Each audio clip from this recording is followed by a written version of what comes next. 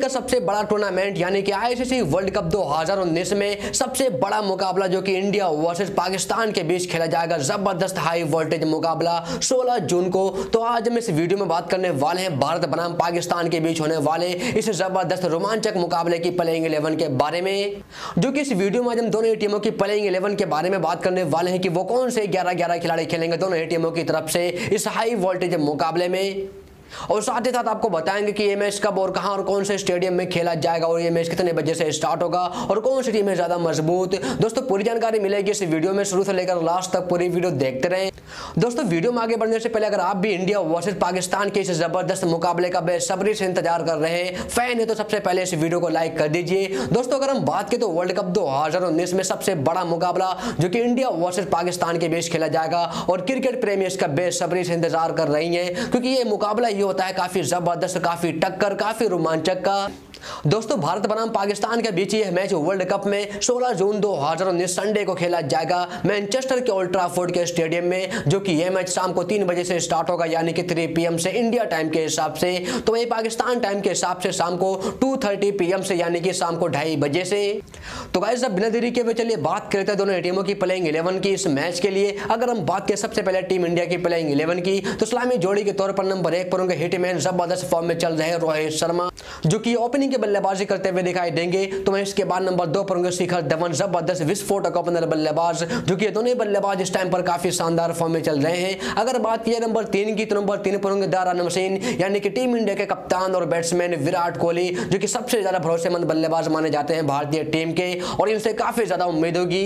एक ज़बरदस्त पारी खेलकर टीम इंडिया को जिताने की। वही अगर हम बात करें नंबर चार की तो नंबर चार पर होंगे विजय शंकर टीम इंडिया के बेहतरीन ऑलराउंडर। जो कि नंबर चार की बल्लेबाजी करेंगे और साथ ही साथ अच्छी खासी गेंदबाजी भी करते हैं। अगर बात की जाए नंबर पाँच की तो नंबर पाँच पर होंगे सबसे ज़्यादा एक्सपीरियंस जो कि ज़बरदस्त विकेट कीपर बल्लेबाज महेंद्र सिंह धोनी, जो कि ये भी इस टाइम पर काफ़ी शानदार फॉर्म में चल रहे हैं और कहीं ना कहीं अपने पुराने लय में दिखाई दे रहे हैं और ये टीम इंडिया के लिए बहुत ही बड़ी खुशखबरी है। अगर बात की जाए नंबर छह की तो नंबर छह पर होंगे ज़बरदस्त ऑलराउंडर हार्दिक पांड्या, जो कि ये भी इस टाइम पर काफ़ी शानदार फॉर्म में चल रहे हैं।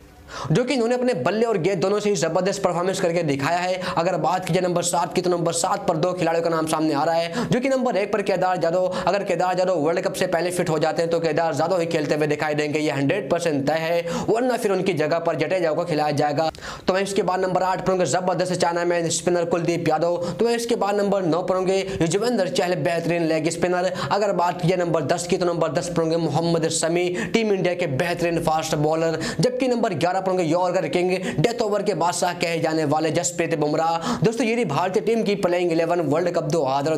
पाकिस्तान के खिलाफ।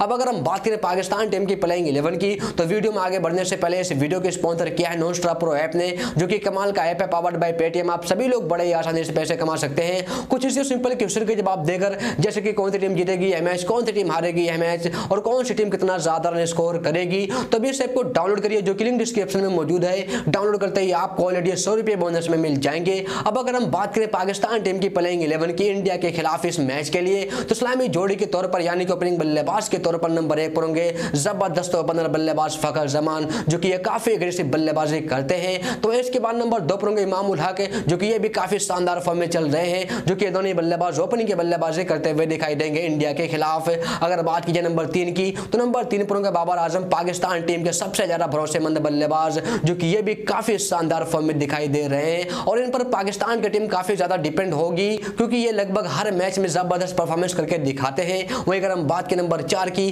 तो नंबर चार पर प्रोफेसर यानी कि मोहम्मद हफीज, जो कि एक बेहतरीन ऑलराउंडर माने जाते हैं खास तौर पर काफ़ी शानदार बल्लेबाजी कर रहे हैं इस टाइम पर। अगर बात की जाए नंबर पाँच की तो नंबर पाँच पर पाकिस्तान टीम के विकेट कीपर बल्लेबाज और कप्तान सरफराज अहमद। तो वही इसके बाद नंबर छह पर आसिफ अली हार्ड हिटर जो कि काफ़ी ज़बरदस्त हिटिंग बल्लेबाजी करते हैं। और जिस भी में इनका बल्ला चलता है, पूरा मैच पलट कर रख देते हैं। अगर बात की नंबर सात की तो नंबर सात पर होंगे पाकिस्तान टीम के बेहतरीन ऑलराउंडर इमाद वसीम जो कि स्पिन बॉलिंग के साथ साथ ज़बरदस्त बल्लेबाजी भी करते हैं। अगर बात की जाए नंबर आठ की तो नंबर आठ पर होंगे सादाब खान, पाकिस्तान टीम के ज़बरदस्त स्पिनर।